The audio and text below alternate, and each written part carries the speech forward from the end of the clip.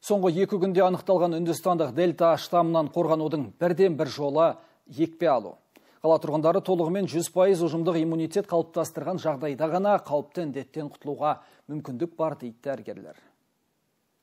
Руслан Ибрагимов қаладағы таңдаулы мейрамханалардың бірінде даяшы болып қызмет етеді. Мұндай нысандар ауру жұқтыру қаупі жоғары саналады себебі сырттан келіп кететін қонақтардың саны көп. Сол себепті ол алғашқылардың бірі болып екпе алған. 22 жасар жігіттің айтуынша қатаң карантин кезіндегідей жұмыссыз қалғаннан гөрі вакцина салдырып қалыпты өмірге оралуда жөн деп санайды. В первую очередь я решил обезопасить. Күнделікті қонақтарға қызмет көрсету және сырттан келген бөгде адамдармен қарым қатынас орнату бұл менің жұмысым. Сол себепті мен ең бірінші жақындарым мен өзімнің денсаулығымды ойладым. Сөйтіп ресейлік спутник ви вакцинасын салдырдым.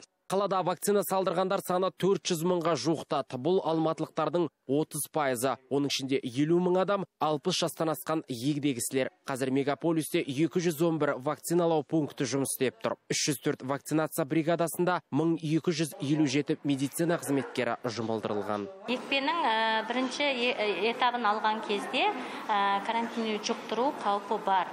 Онда маска тағып жүру керек суықтан сақтану керек. Сондықтан адам организміне байланысты ол жұқтыру жұқтырмауы. Бұл сауда орнында нөмір екінші қалалық емхананың көшпелі бригадасы жұмыс істейді. Дәрігерлердің айтуынша бүгінге дейін вакцинаға келушілердің қарқына бәсеңдемеген. Орталық сенбі жексенбі күні де демалыссыз қызмет көрсетеді.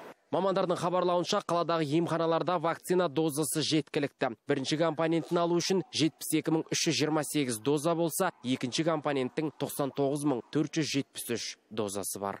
Ұлағат Арғын, Хани Қалуов, Алматы телеарнасы.